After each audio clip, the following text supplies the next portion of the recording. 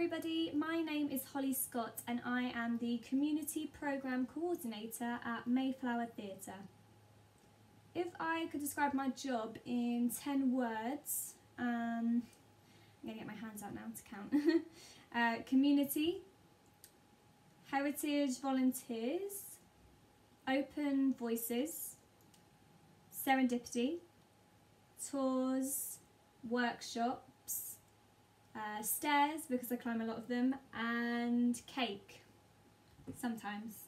I have worked at the theatre since last November, um, so I'm fairly new to the Engage team. Um, I've only been here for about four or five months, so uh, if you haven't met me yet or haven't seen my face, I look forward to meeting you soon.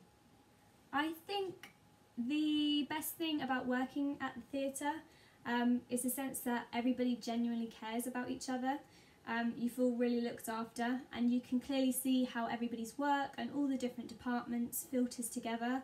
It feels like a big puzzle um, and you know how everything gets up and running so smoothly because of the way people work with each other. Um, and no day is the same, uh, every day is really different, it's always exciting um, which makes coming to work great.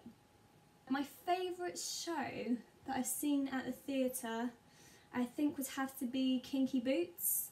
Um, I came to watch it with my mum, I think it was last year maybe. Um, this was before I worked at the theatre.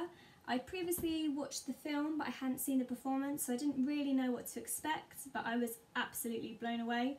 Uh, the movement, the dancing, the things that people can do in heels, um, the glitter, it just had such a feel-good energy um, and I will never ever underestimate now what you can achieve in a pair of red boots. Hence why I'm wearing them today.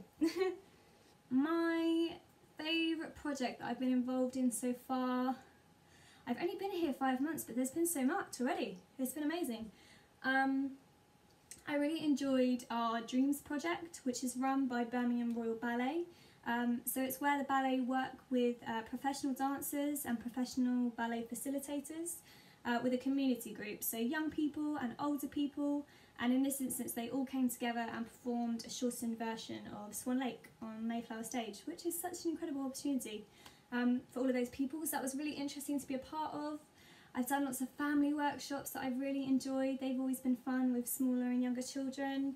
Um, we recently had uh, Southampton Music Hub with us um, and we did, uh, you might have heard of it, the massive musical Odyssey, which saw hundreds of school children uh, and musicians perform again on Mayflower stage.